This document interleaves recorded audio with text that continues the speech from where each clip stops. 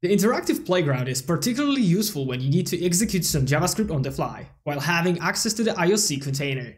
Let's walk through some of the most common use cases of this feature together.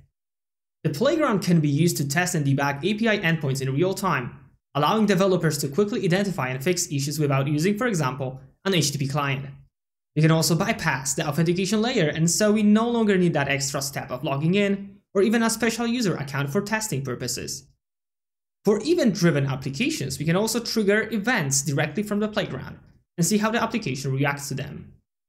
Anything that gets locked down is streamlined to the playground's console, so we can easily see what's going on.